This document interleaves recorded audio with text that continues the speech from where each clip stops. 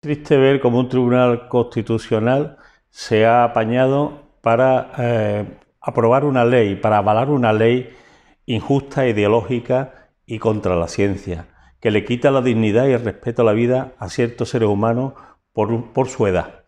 Le recordamos al tribunal que cuando se ha puesto en duda si ciertas vidas humanas tenían dignidad o no, a lo largo de la historia siempre han terminado pidiendo perdón mi consuelo es también saber que ellos terminarán pidiendo perdón por esta barbaridad del derecho al aborto. En segundo lugar, le preguntaría al Tribunal Constitucional si también avala la Constitución la desigualdad que introduce la ley con los síndromes de Down, que lo pueden matar hasta los cinco meses y medio.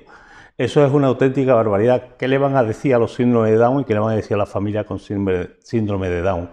Otra cosa importante, ver y es triste que un tribunal constitucional y unos políticos se dediquen a imponer el darwinismo social al servicio del neocapitalismo salvaje y no buscando el bien común.